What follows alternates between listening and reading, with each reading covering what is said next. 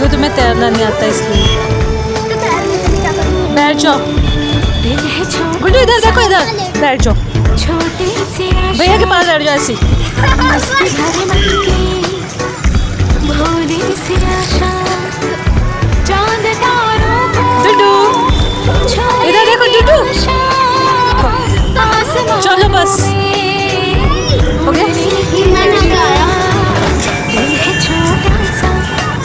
चलो